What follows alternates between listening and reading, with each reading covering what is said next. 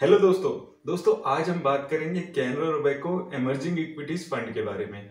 ये एक large and mid cap category का फंड है, यानी कि ये एक से लेकर टॉप 250 कंपनीज़ में अपना पैसा मेजरली इन्वेस्ट कर रहा है। और पिछले पाँच सालों की अगर हम बात करते हैं, इस फंड ने काफ़ी सही रिटर्न दिया अगर हम इस पर्टिकुलर कैटेगरी में देखते हैं। तो आइए देख लेते हैं इस फंड की डिटेल्स क्या है और इसने मेजर अपना पैसा कहाँ लगाया और कैसी रिटर्न दी है। दोस्तों, ये एक large and mid cap category का फंड है और ये टॉप 250 कंपनीज़ में ही इन्वेस्ट करता है। और अभी इस फंड के पोर्टफोलियो में लगभग 57 स्टॉक्स अवेलेबल हैं। ये फंड पहली बार जनवरी 2013 में लॉन्च हुआ था और अगर हम इसमें बात करते हैं इसके फंड साइज़ की तो ये लगभग 7000 करोड़ के आसपास का फंड साइज़ है अभी इस फंड का। और अगर हम इसमें बात करते हैं एसेट एलोकेशन की तो लार्ज कैप कंपनीज़ में ये 52 परसेंट के आसपास, वहीं मिड कैप कंपनीज़ में 40 परसेंट के आसपास और स्मॉल कैप कंपनीज़ में 6 परसेंट के आसपास पैसा लगा रहा है। अब देख लेते हैं इसमें इसका एक्सपेंस रेशो इसका एक्सपेंस रेशो अभी 0.76 परसेंट चल रहा है, जो कि कैटेगरी एवरेज 1.14 से काफ़ी अच्छा है, काफ़ी कम एक्सपेंस रेशो इस फंड का अभी चल रहा है। अगर आपको एस इसमें शुरू करनी है तो मिनिमम एक हज़ार रुपये से आप इसमें एस शुरू कर सकते हैं। और अगर आपको वन टाइम या लमसम पैसा डालना है तो आपको कम से कम पाँच हज़ार रुपये इसमें डालने पड़ेंगे। रिस्क पे बात करें तो ये एक मॉडरेटली हाई रिस्क कैटेगरी का फंड है। तो अगर आप इसमें फॉल करते हैं तो ही आप इसमें इन्वेस्ट करें। अगर अब इसमें हम बात करते हैं एग्जिट लोड की तो अगर आप अपना डाला हुआ पैसा एक साल के अंदर निकाल लेते हैं तो आपको एक परसेंट एग्जिट लोड देना होगा। और अगर उसके बाद कुछ भी निकालते हैं तो कुछ आपको एग्जिट लोड नहीं देना है।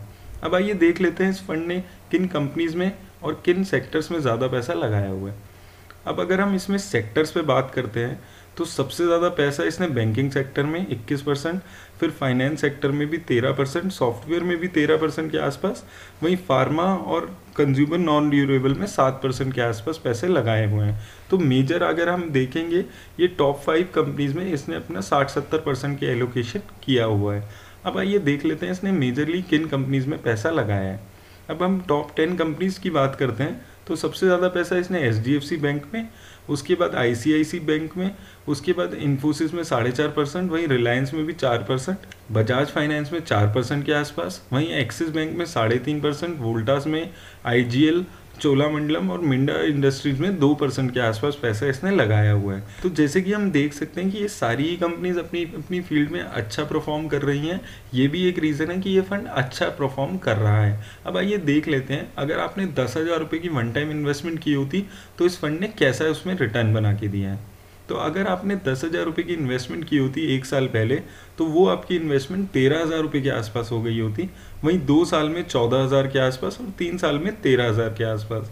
अगर आपने पाँच साल पहले दस हज़ार रुपये लगा दिए होते तो वो आपका अमाउंट इक्कीस हज़ार रुपये से ऊपर चला गया यानी कि पाँच साल में इस फंड ने आपकी जो लागत है वो डबल कर दी है।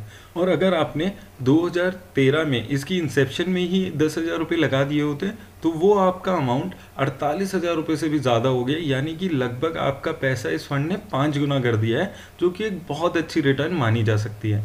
अब आइए देख लेते हैं, अगर आपने एसआईपी कराई होती इस फंड में तो कैसा रिटर्न मिला होता?